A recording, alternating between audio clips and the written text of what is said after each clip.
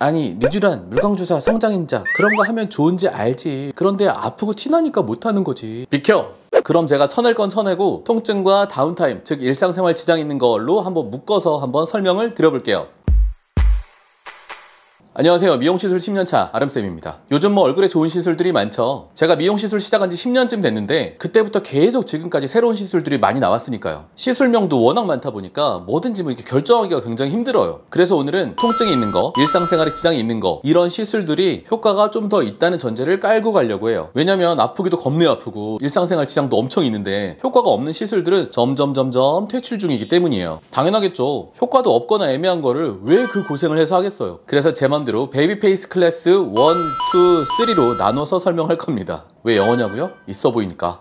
baby face class 1, 2, 3 중에서 baby face class 1에 속하는 시술들에 대해서 말씀드리려고 합니다. 자, 클래스 1은 상대적으로 아프고 일상생활에 지장이 큰 거, 다만 상대적으로 효과가 조금 더 있는 시술들이에요. 제 기준이에요. 자, 클래스 1은 리쥬란, 연어주사, 물광주사 등입니다. 이런 주사들은 진피층에 직접 주사를 해야 되는데 그게 문제예요. 그 층이 아파요. 그리고 그 층에서 피도 많이 나요. 혈관도 많고 신경도 많이 지나가서 그래요. 그리고 또 리쥬란이나 또는 물광 주사의 종류에 따라서 시술 직후에 약간 올록볼록 한 게 남을 수 있어요. 뭐 하루 이틀밖에 안 가긴 하지만 그래도요. 자, 제가 이게 그림판으로 제가 그린 그림인데요. 여기에 진피라고 써 있는 곳에 지나가는 혈관도 많고 신경도 많아요. 그래서 아프고 멍도 잘 들어요. 그리고 이 표층에 있는 층이다 보니까 뭔가 집어넣었을 때 조금만 덩어리진 것이라면 약간 울룩불룩 할 수가 있어요. 그리고 그 아래로 지방층이랑 근육층 있는 거 보이시죠? 아니, 전에 병원은 안 아프게 났는데 이 병원은 왜 이렇게 아프게 나? 나한테 뭐 감정 있어? 비켜?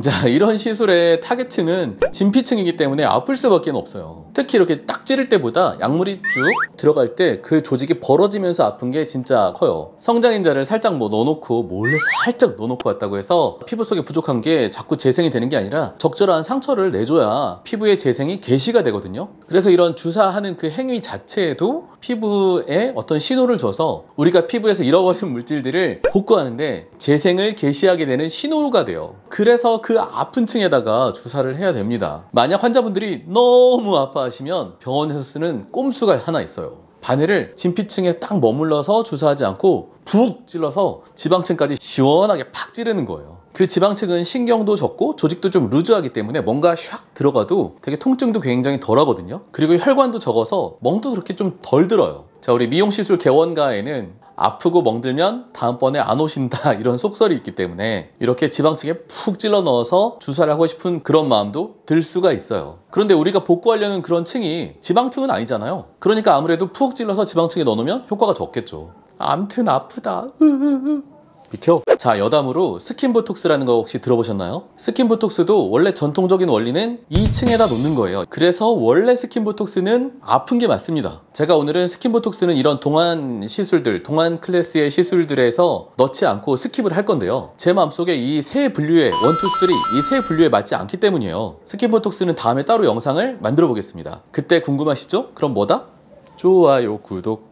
좋아요, 구독. 동안 클래스 시술 2입니다. 영어는 역시 어려워요. 자, 클래스 2는 프락셀이나 needle 고주파 이런 것들입니다. needle 고주파라고 하면은 인트라셀, 플로라셀 이런 것들이에요. 프락셀은 많이들 들어보셨죠? 클래스 1 시술들은 진피층에 직접 주사를 해가지고 바로 그런 약물들을 넣어준다고 한다면 클래스 2 시술들은 피부층에 상처를 냅니다, 일단. 상처를 열심히 내고 그런 자극 위주의 시술이 되고 그렇게 자극을 주는 것까지는 같은데 성장인자를 직접 속에까지 주입을 하지 못하고 위에다가 뿌려주게 돼요. 프락셀은 레이저가 나가서 피부에 상처를 주고 열 에너지를 진피층에 전달해서 재생을 하거라 라는 강력한 신호를 전달하게 되고요. needle 고주파는 푹 바늘을 찔러서 거기서 고주파가 디리릭 나가게 됩니다. 그래서 상처와 에너지를 전달하게 됩니다. 제가 클래스 2라고 이름 붙인 만큼 통증도 클래스 1보다는 좀 덜하고 downtime 즉 일상생활의 지장이 조금 적어요. BB 정도 바르면 일상생활에 크게 지장이 없다. 아, 아예 지장이 없다는 건 아니고요. 크게 지장이 없다 정도입니다. 개인적으로 제가 이런 동안 시술들을 받을 때는 자꾸 이쪽으로 클래스 2 정도로 손이 갑니다. 자꾸 자꾸. 클래스 1이 효과가 좋은 건 알고 있는데 아무래도 downtime 때문에 꾀가 나가지고요. 아프기도 하고. downtime이 클래스 1에 비해서는 조금 적지만 그래도 붉은기가 있고 사람에 따라서 조금 부어 보이는 느낌이 날 수도 있어요. 며칠 동안요. 마지막으로 baby face class 3입니다. 동안 시술 클래스 3. 자, 3인 만큼 제일 downtime도 적고 통증도 적겠죠. 자, 아기 주사, 샤넬 주사, 레몬 주사 뭐 이런 것들입니다. 주로 MTS라고 바늘이 달린 기계가 구멍을 바바바바바박 냅니다. 그리고 성장인자 같은 걸 뿌려서 흡수를 시켜주게 돼요. 같은 바늘을 이용하는 MTS 시술이 여드름 흉터 치료할 때는 엄청나게 세게 시술을 한다면 피부에 이런 성장인자들을 침투시키기 위한 그런 MTS 시술은 조금 부드럽게 합니다. 그렇게 해도 원리상 피부에 성장인자들이 잘 침투가 되기 때문이에요. 더 세게 하면 효과가 좀 더 낫겠지만 그렇게 세게 할 거면 클래스 2, 1으로 올라가는 게 좀 더 낫겠죠. 자, 이 경우에는 상처를 좀 적게 냈기 때문에 아무래도 그만큼 재생을 위한 개시력, 드라이브가 조금 적게 걸리게 됩니다. 다만 붉은기나 상처도 좀 적고 울퉁불퉁함도 별로 없기 때문에 아픈 것도 덜하고 일상생활에 지장이 좀 적다는 장점이 있죠. 자, 아무리 좋은 그런 성분이라도 어떤 시술법, 올바른 시술법, 적절한 시술법이랑 이렇게 매칭이 돼야지 효과가 좋을 텐데요. 화장품으로 허가한 그런 성분들은 얼굴에 직접 주사할 수가 없기 때문에 이렇게 바늘에 구멍을 내고 흡수를 시키는 그런 방법을 사용하게 됩니다. 자, 마지막입니다.